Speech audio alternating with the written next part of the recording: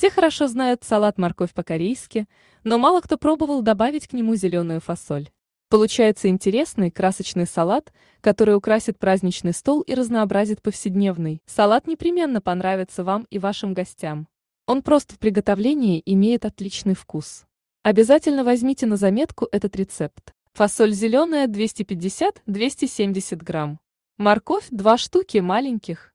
Лук репчатый 1 штука маленький. Кориандр 1 чайная ложка зерна.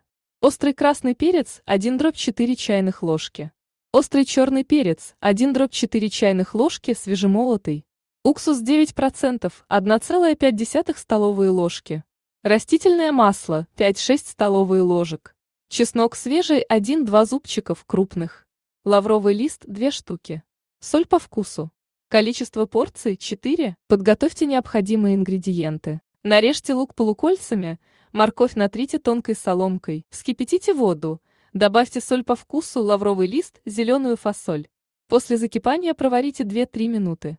Откиньте на дуршлаг, дайте полностью стечь в воде. Выложите в салатник лук, морковь, фасоль, измельченный чеснок. В сотейник влейте масло, уксус, добавьте все специи. Поставьте на огонь, доведите до кипения. Снимите, горячим маслом со специями залейте подготовленные овощи. Перемешайте, переложите салат в тару с крышкой и уберите на 3 часа в холодильник. Салат готов. Приятного аппетита!